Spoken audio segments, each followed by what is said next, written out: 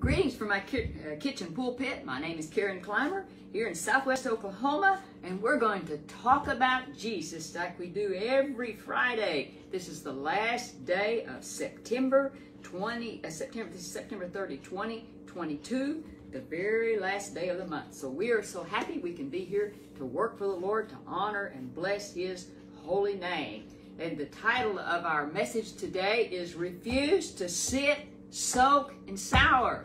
And I thought of something, another word would work in there. Refuse to sit, soak, sulk, and sour.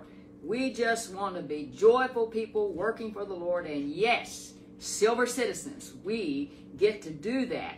In fact, we just have almost like a mandate uh, from our uh, from our Lord and Savior Jesus Christ uh, through Titus that He had him write these words to us that the older were to teach the younger, and it's a high calling. We get to do that. We get to be examples of believers in our words and our deeds. We should be like that all the time.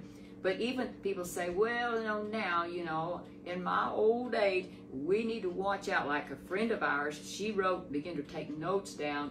She wanted to beware, she said, of the snares of old age. She had seen people in their later years.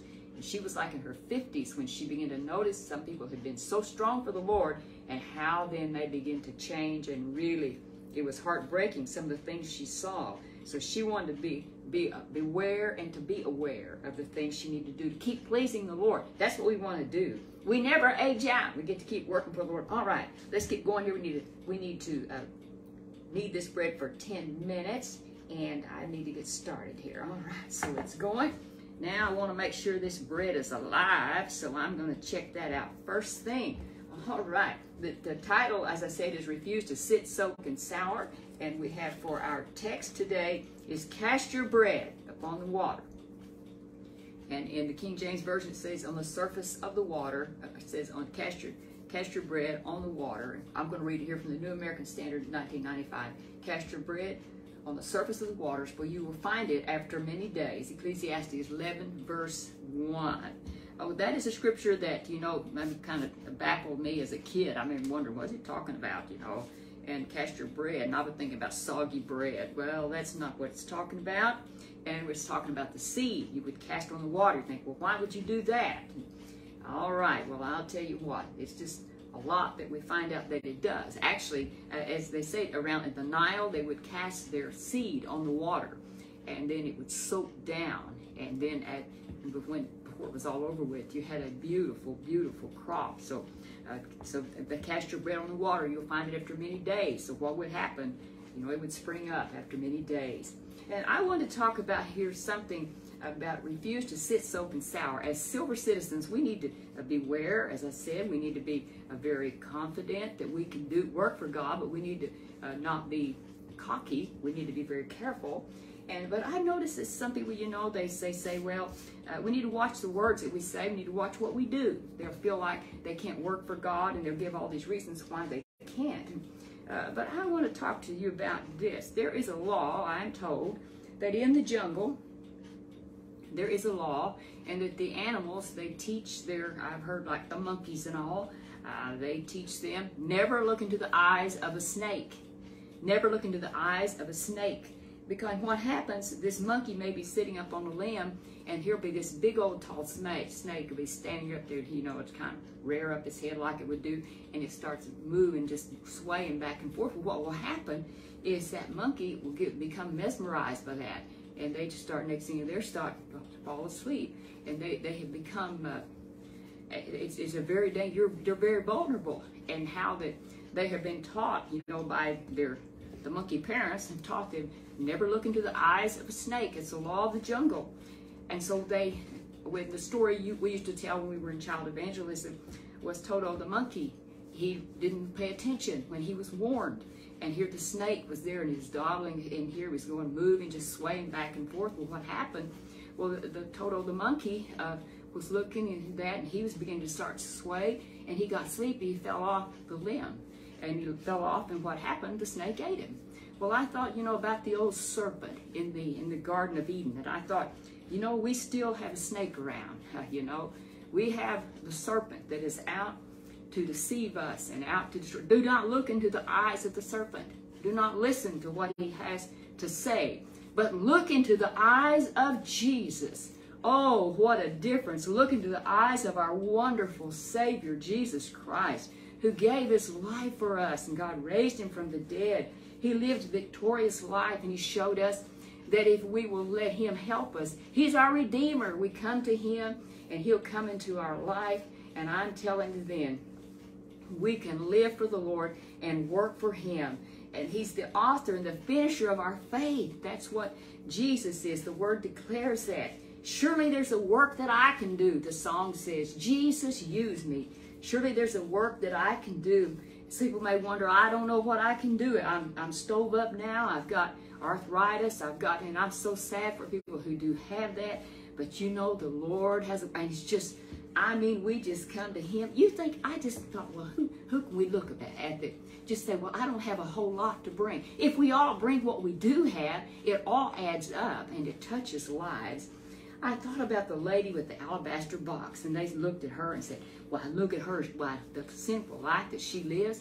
But she had been around Jesus, she'd seen him, and she had noticed how, how faithful, how good he was, how kind and all. And she, she loved him, and she wanted to do something for him. What could she do? What in the world could it be? Oh, she had that alabaster box of this ointment, and she came. People said, look at him. Look, he's letting this woman come in. And Jesus wanted to leave her alone. What this was priceless. This was the very best that she knew. To, she was doing the best thing she knew, she knew to do. She wanted to honor Jesus. She realized he wasn't just an ordinary man. And she came and, and how Remember how she broke this body and all the ointment on his feet, and and they condemned and criticized, especially Judas said, "Look at this! That all of this is worth a whole lot of money, and look what she's done. She brought the best, what she wanted to do. Nobody forced her to do it. That's the, she wanted to bring him her best. She probably feel like, felt like I'm the worst person in all of the world, but she saw something in him. She was showing her love, and she she wanted to be like Jesus. I really believe that. And he said, "You leave her alone." He said, She's anointed my body. And so what, you know, he died very shortly after that. And it was an honorable thing that she had done. And I thought about, folks say, well, I don't have a whole lot of money. I couldn't bring an expensive gift like that. Well, what about the little widow that she had two mites? It wasn't even a penny. It was such a small amount. But she didn't say, well, I'm not going to give. It was what she had and she wanted to give it to Jesus. It was her living. It was her. I mean, they didn't have a big plans for uh, widows back in the day. If they didn't have a family, they usually just, this might die. They might starve to death. But Jesus said to his disciples, took them aside, and he said, look at this. When the others were casting in all of their money, they had plenty of money. Here's what, she didn't, she didn't say, I'm just going to, I'm just sit home here. I can't do anything. She didn't sit soaking sour. She didn't sit soak, soaking sour.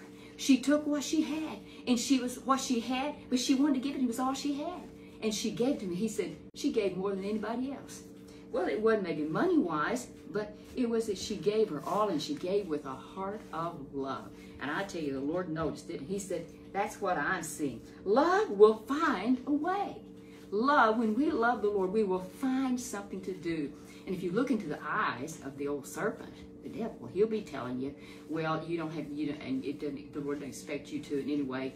Uh, look how he's treated you. Been, uh, he'll tell you all kinds of lies because he's father lies. But refuse to sit, soak, and sulk and sour instead. Know this, when you look into the eyes of Jesus, you're looking into eyes of just full of love and acceptance of what we can do. We don't need to tell him what we can't do oh, what we can do. We can find something we can do for him. And, you know, we, the thing that I know, he is searching for his children every day. He's searching and he's watching for somebody that will work for him. And surely it's us. But let's be the ones that say, yes, Lord, what can I do for you today? And every day, today, tomorrow, and all the rest of my days, what can I do? Each morning when we get up, Jesus, use me the song said, please, Lord, don't refuse me. Well, I don't like that part, you know. Uh, I, when you come, it's almost like Jesus wouldn't, wouldn't use us. He will. And so we don't want even that attitude in our head that he can't. Jesus used me. He has a plan. He has a purpose. And we ought to be willing and glad to come to say, yes, Lord, what do you want me to do? we never, I say it and I keep saying it, we never age out. The Lord can, does, and will use us, and it's a wonderful thing to do. Remember Moses. He was 80 years old, and they had an APB out for him, all points bulletin. He'd kill somebody. He got as far away as he could. I mean, and the Lord just knew right where he was, and he said, say, I got a plan for you. And when he was 80, he led a whole nation out of bondage. He didn't think he could, but the Lord with him helped him. It was the biggest job he had ever had in his life, and he was trained as a youth by the Egyptian royalty. You remember the story about Moses, how he was found at, you know, the mother, uh, they was going to kill the baby boys, but she hid him in, in a little uh, little boat she had made, and uh, and had it in, you know, how that the Egyptian princess came down, and how that uh, wound up that Moses' mother actually was the one that uh, that took care of him and nursed him, and she no doubt told him, "You're you're not an Egyptian, you're Hebrew."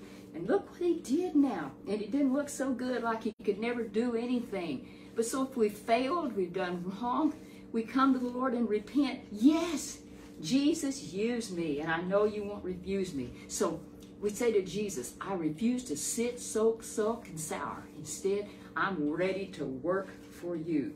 And the, Lord brought this word to me back sometime back. He'd given me this word that just blessed my heart so much. Ensconced. Be ensconced in his presence and his loving kindness. That word ensconced, I thought I've never used that word. What even is it? I Had to look it up.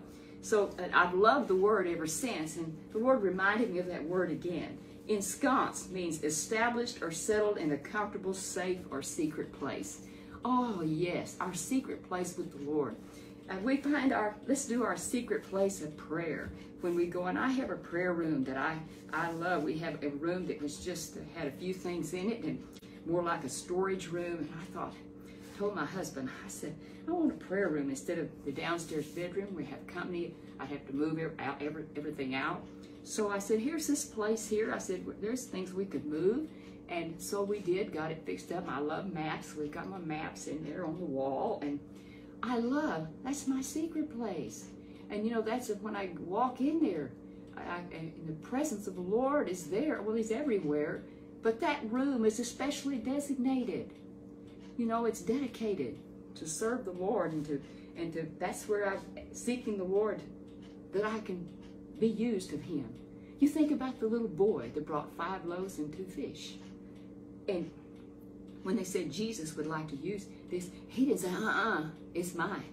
He said, sure, he gave it to Jesus. What happened, George? Jesus multiplied it and fed the whole multitude. Don't you know that little boy's eyes was popping out? Wonder when he got back home and told his mom and dad what happened. But then they found out the straight, it was right. He had told the truth. I will never understand God's math. I will never understand how he does it. But if we will bring what we have, and it seems so small, bring it to him and it is enough. He will take it, whatever you have in your hand, whatever you can. In fact, another scripture that I found, I was thinking of, and it's in Colossians chapter 3 and verse 17. New American Standard Bible 1995. Whatever you do in word or deed, do all in the name of the Lord Jesus, giving thanks through him to God the Father. And whatever our hand finds to do, the scripture says, do it with all our might. We're doing for Jesus. So uh, when the devil, don't look into his eye, the old devil's eyes, the serpent's eyes, but because he all he's going to tell you is, well, and you know, you're worthless and that won't work and it's not enough and you're not like a, oh no, we don't look to him. But we look into the eyes of our wonderful Lord and Savior, Jesus Christ.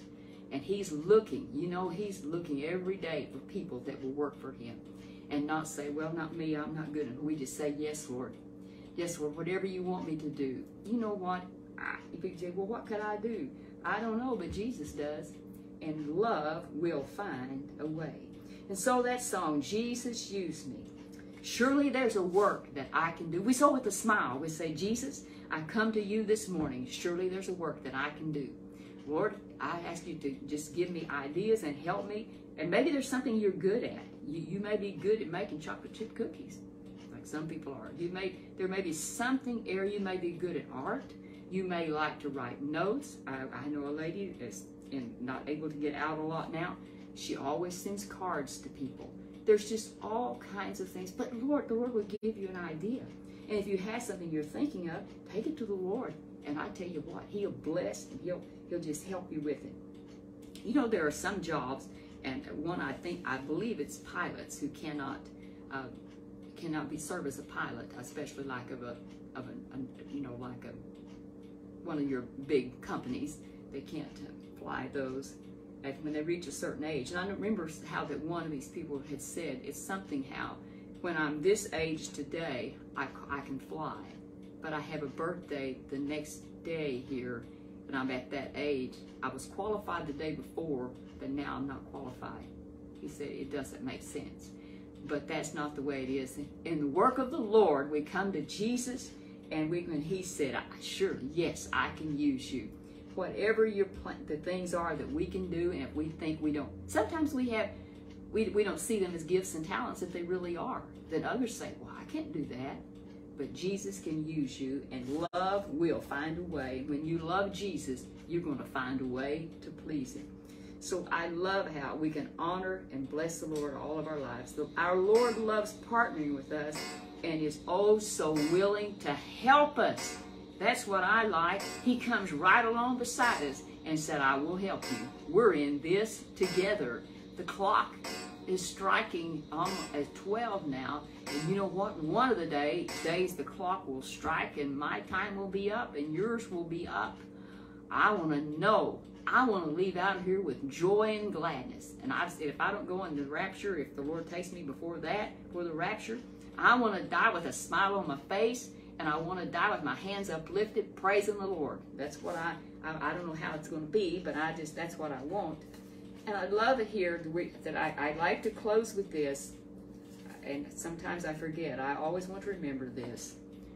From Philippians chapter 2 and verse 13, the J.B. Phillips translation. For it is God who is at work within you, giving you the will and the power to achieve His purpose. I'm telling you, He has a plan, and you don't want to miss it. So every morning, Jesus, I'm up and ready to work for you. I refuse to sit, soak, and sour, and I sure won't sulk. May the Lord bless you and keep you until next time. Next Friday, the Lord willing, we'll see you. You be blessed. You have a great, great day in the Lord.